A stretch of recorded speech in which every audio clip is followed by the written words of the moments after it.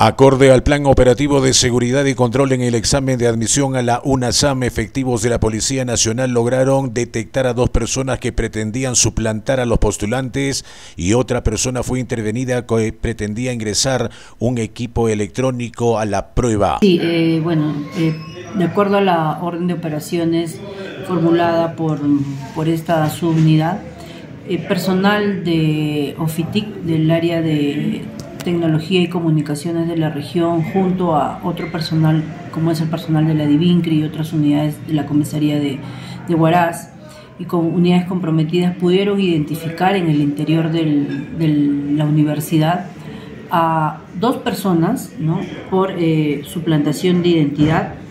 Las personas responden al nombre de Cristian Diego Obispo Torres, de 24 años, y Jonathan Alexander Ortiz Cruz, de 27 años, ¿no? ambos procesados por y detenidos por falsedad genérica y también personal eh, que estaba en el interior pudo identificar y detener a Henry Kenneth Veramendi Sánchez, de 20 años, por eh, tratar de ingresar, encontrándole en su poder un, un teléfono celular, un mini equipo celular de marca Nokia, tratándole de ingresar en el, al interior de la de la universidad para dar su examen de, admisión. ¿no? Eh, estas tres personas han sido detenidas y puestas a disposición de la Divincri.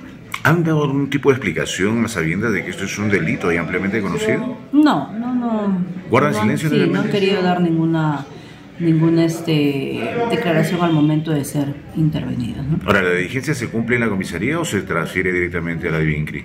Eh, bueno, la diligencia se realizó en el lugar, en la universidad, pero eh, por la competencia funcional se ha puesto a disposición de la División de Investigación Criminal. ¿Son los dos únicos o tres únicos casos? Sí, son los tres casos que se han presentado. Las investigaciones para determinar su situación legal en adelante se encuentran en manos de la División de Investigación Criminal de Huaraz, donde lograron detectar que uno de los detenidos tiene antecedentes por similares delitos de suplantación en otras universidades del país. El día de ayer, la comisaría de Huaraz, este, durante el operativo realizado en la Universidad Santiago Antunes Mayolo, interviene a dos jóvenes que por suplantación de identidad, quienes habían ingresado a la universidad a, rendir el examen ¿no? de ingreso y fueron intervenidos y han sido pues trasladados y puestos a disposición de, de la de Pinkly de Boras. ¿Se ha indicado, ellos han indicado por qué hicieron esto sabiendo que está penado? Eh, estamos en plena investigación, este, ellos este, no han indicado nada hasta el momento,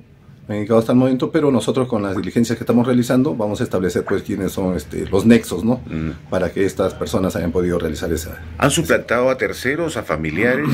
a terceros. A terceros. A terceras personas. Estamos ahorita en eso, identificando, vamos a notificar también a los presuntos suplantados, ¿no? A los suplantados también, para que las investigaciones pues lleven a buen término. ¿Los detenidos intervenidos eh, son de la zona, son foráneos? Eh, uno es foráneo, uno es foráneo y ya este y uno de ellos ya cuenta ya con antecedentes sobre ah, este tipo de... Tiene antecedentes, de la misma naturaleza. De la misma naturaleza. O sea, su plantación también en otras universidades. Ah, sí, es, en otras, en otras universidades.